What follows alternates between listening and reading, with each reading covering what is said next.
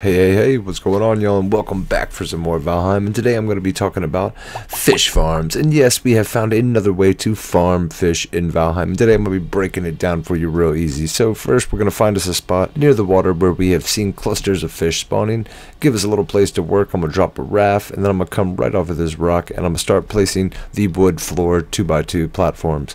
And now you're only going to be able to come off a few before they turn red, so you're going to have to turn around and go ahead and place iron into these bad boys and you can come off as far as you like so I'm going max distance right here and now we're going to come back with the 26 degree thatch roofs or the black shingle ones either or and we're going to lay these right on either side and we're going to come down the entire way. Now this is going to allow us to make a nice wide platform for the fish to jump out of the water onto. Now I know this is really rudimentary but it works extremely well.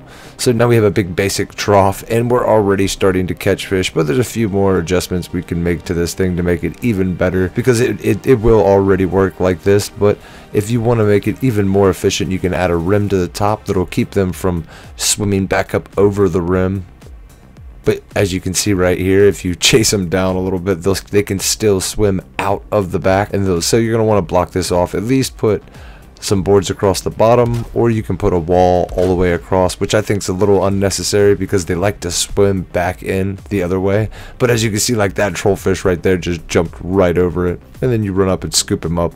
Score four baby. Uh, yeah level he was grade two as well and if you have a couple of these things going, you can just run back and forth and collect all the fish. And you can do this in any of the biomes, and you can make this in any of the shapes. And as you can see right there, it's good to note that the fish can clip through the roofing tiles, so you're better off layering these a couple times to keep them from clipping through and falling through the bottom and through the top. And it's probably best to mention that you're going to want to build this near your base because if you're not near, the fish aren't going to be spawned in and not able to jump into your trap. So if you're not built near water, you're going to have to camp near one of these to make this farm applicable to yourself. But back on to building these in different shapes. I think a circular pattern would probably work even better than these rectangular patterns if you build a large donut shaped platform out there in the water.